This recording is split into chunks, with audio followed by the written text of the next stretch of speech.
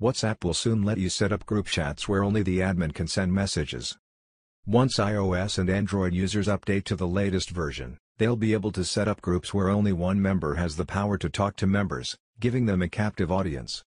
One way people use groups is to receive important announcements and information, including parents and teachers at schools, community centers, and non-profit organizations, the company wrote.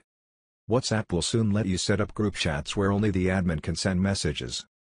Once iOS and Android users update to the latest version, they'll be able to set up groups where only one member has the power to talk to members, giving them a captive audience.